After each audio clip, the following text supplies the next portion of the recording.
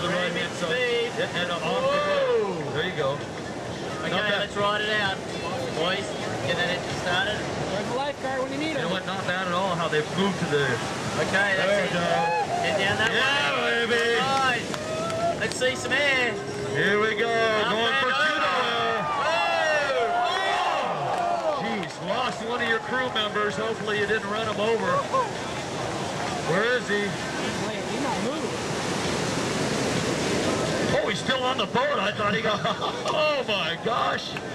He's, the boat gets a, oh a 9.8 on that wave. I think that's a 10-0. Oh, that boost. Once again, supers, we I need to come in. man. Talk about the the 9/11 disasters. We've had had a 9/10 disaster.